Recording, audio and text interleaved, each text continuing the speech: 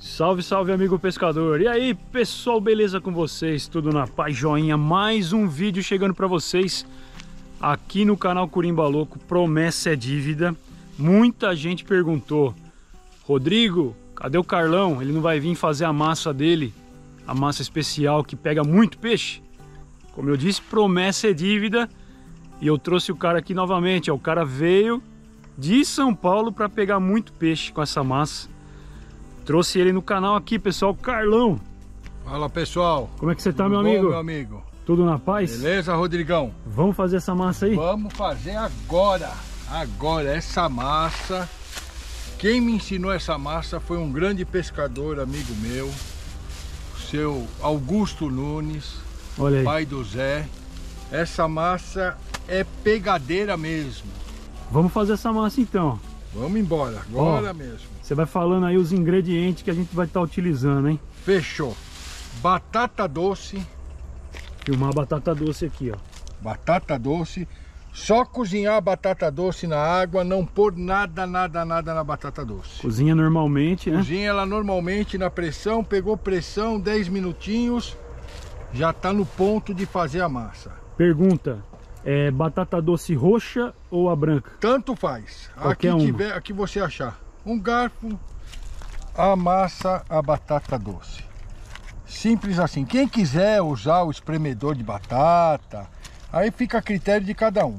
Não tiro a casca, não tem necessidade de tirar a casca, tá? Legal, mantenha a casca. Mantenha a casca porque eu vou fazer uma quantidade pequena, porque senão a gente vai ficar muito tempo dando liga nela aqui, né? Tá. Tá?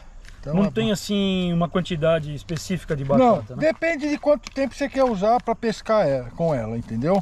Sei. Eu uso uma quantidade básica aqui, E pessoal, o cara acabou de chegar e já pegou uma piapara lá com ela, hein? já peguei e vou pegar mais, hein? Qual que é o segundo ingrediente, Carlão? Alho. Ô, Carlão, mas alho na massa? Alho. O alho vai trazer o cheiro dessa massa muito forte, que vai atrair muito peixe, tá? Olha que legal. Amassa o alho também, tá?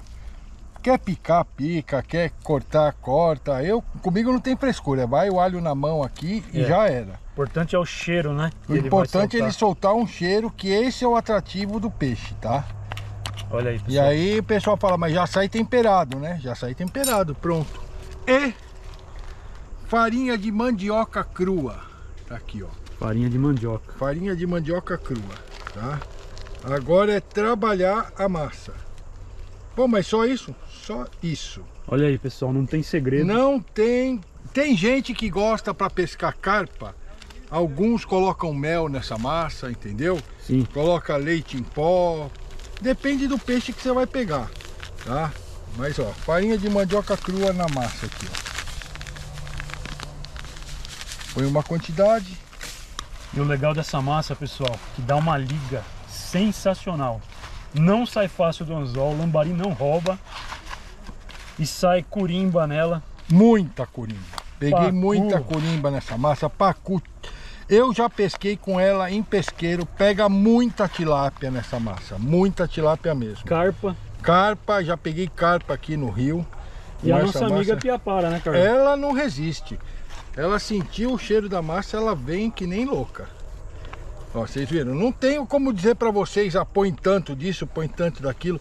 Tem gente que gosta dela mais mole, tem gente que gosta dela um pouco mais firme. É no olhômetro. É, mesmo, não, né? não tem, é, a coisa é rústica, ó. Mais um pouquinho só pra dar um pouco mais de liga Certo. Um dente de alho para essa quantidade, né? pra essa Ele- quantidade. Quiser pôr dois dentes de alho, põe dois. Aí vai a gosto, mas eu coloco sempre um, porque senão ela vai roubar totalmente o, o- o sabor da massa. Vai ficar só o gosto do, do alho. Então, não é massa de alho, é massa de batata doce, tá? Inclusive, pessoal, o alho, ele é um ingrediente muito ativo em ração para aquarismo. É, tem esse componente, o pessoal coloca o alho na ração, as indústrias, né? Que é justamente para atiçar o, é, a fome do peixe, né? O, o peixe se alimentar mais. Então, naturalmente, o alho né, na, na indústria aí de aquarismo é utilizado. Por que não na pescaria? E dá certo, hein? Olha aqui, simples, prática, rápido. Olha como ela fica. Cara, e dá uma liga extraordinária, Ó, né? Tá pronta a massa. Não gruda, não fica. Cheiro de alho. Ó, cheiro de alho, ela não fica grudenta, tá vendo? ó? Não é aquela massa que você tem que ficar lavando a mão toda hora. Não, você fez ela uma vez, tá aqui, ó. Show, hein? Dura em média três dias fora da geladeira. Tá. Depois disso o alho vai azedar ela muito e aí ela vai ficar bem forte mesmo.